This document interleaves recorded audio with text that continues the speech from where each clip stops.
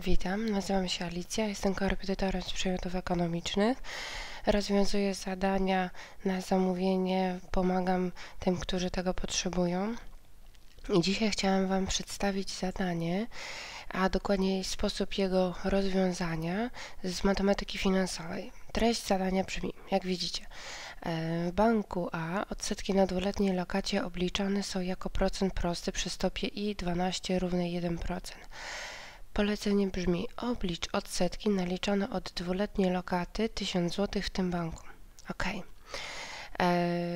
Z treści tego zadania wszystkie elementy najlepiej trzeba będzie wyłapać. Po pierwsze to, że mamy do czynienia e, z lokatą dwuletnią.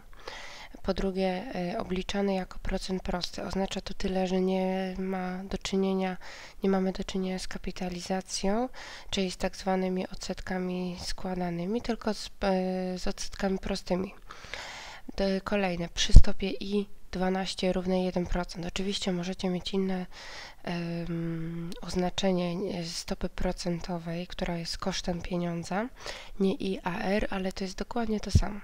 Tylko, że musicie zwrócić uwagę, że to I12 w ten sposób zapisane, ten symbol indeks dolny 12 oznacza, że mamy do czynienia z tak zwaną stopą miesięczną. Dlatego mm, jak mamy do czynienia z lokatą dwuletnią, to oczywiście to trzeba będzie wszystko ze sobą pogodzić. Jeżeli polecenie mówi o tym, czy brzmi oblicz odsetki od takiej lokaty y, mm, o wysokości 1000 zł w tym banku, oznacza to tyle, że ten 1000 to jest dzisiaj, dzisiaj dzisiejsza wartość tej lokaty, czyli w dniu e, jej założenia. Czyli to jest wartość obecna, tak zwana PV, present value, a nie future value, czyli to, co otrzymamy na koniec. ok. E, w takim razie kolejny element jest e, po zapoznaniu się z treścią zadania wypisanie wiadomych i niewiadomych. Czyli tak jak to widzimy, musimy napisać, że odsetki, czyli interest, to jest u nas rzecz poszukiwana. Future value, czyli ten mm, kapitał końcowy, czyli ile będzie wynosiła kwota, e, jest nam nieznanym. E, i w praktyce ileś tam wynosi, więc dlatego te trzy kropki. PV to jest 1000 zł, N to jest 2 e, lata, czyli ten czas naliczania odsetek to 2 w jednostce lat i równa się 1%. I to jest właśnie ten cały widz w tym zadaniu, że nasze odsetki, które mamy tutaj zapisane, e, są zapisane w stopę procentową miesięczną i 12, czyli ile jest takich kapita, ile jest takich okresów naliczania odsetek w ciągu roku 12. Dlatego dla bezpieczeństwa, żeby się nie pomylić, zawsze polecam zamianę jakiejkolwiek stopy kwartalnej, miesięcznej, co byśmy nie mieli, na stopę obowiązującą roczną i będzie nam łatwiej i mniej błędów popełnimy. Dlatego tu zapisałam I1, to jest stopa miesięczna, czyli mm, naliczona 12 razy w skali roku, razy 12, co będziemy mieć tą roczną. I, czyli jeżeli w ciągu miesiąca naliczone jest 1%, to w ciągu 12 miesięcy 12 razy więcej, czyli 12%. E, I teraz nasze rozwiązania. Ja polecam, oczywiście, że można korzystać z jakichś bardziej rozbudowanych wzorów, ale polecam zawsze korzystanie z tego podstawowego wzoru na future value, czyli na wartość przyszłą.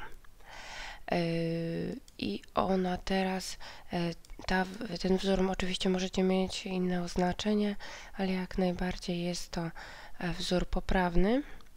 Dlatego tu widzicie, że wartość przyszła to PV, czyli te nasze 1000 zł razy i w nawiasie 1 plus R razy N. Po podstawieniu, to oczywiście widać, na kalkulatorze zawsze polecam naukowym, bo wszystko można od razu wpisać, jest 1240. I polecenie nie brzmiało, ile otrzymamy na koniec po, tych, po tym okresie dwóch lat, bo otrzymamy 1240, ale pytanie, y, polecenie brzmi oblicz odsetki naliczone od takiej dwuletniej lokaty. Ok, a więc y, interesuje nas i jako różnica między FV minus PV, czyli od 1200, które otrzymałem po dwóch latach, trzeba odjąć 1000, które były włożone na tą lokatę i faktycznie otrzymamy y, odsetki 240. I taka będzie u nas ta interpretacja, że odsetki wyniosą 240 zł. E, jedyna rzecz, na którą jeszcze warto jest zwrócić uwagę w takim zadaniu, jest to, że w tym sposobie rozwiązania ja nie uwzględniłam podatku dochodowego od zysków kapitałowych, krótko mówiąc, na przykład od lokat. Podatek wynosi 19%. Oznacza to tyle, że od 240 zł y, trzeba będzie odjąć jeszcze 19% tej kwoty, czyli liczymy na kalkulatorze 240 razy 19%, czyli razy 0,19 i tyle wyniesie podatek od przychodów finansowych. I różnica to będą odsetki już takie wypłacone w okienku kasowym w banku.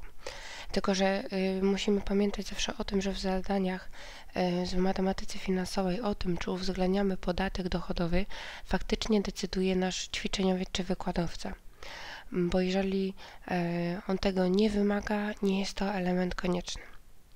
Ok, na tym kończę omawianie tego zadania. Dotyczyło odsetek od lokaty bankowej y, w przypadku odsetek prostych.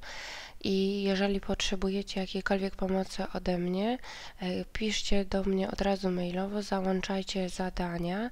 Jeśli macie z nimi jakiś problem, e, zostawię e, swoją odpowiedź. Kwestia poczekać, a na pewno odpiszę. Pozdrawiam, Alicja.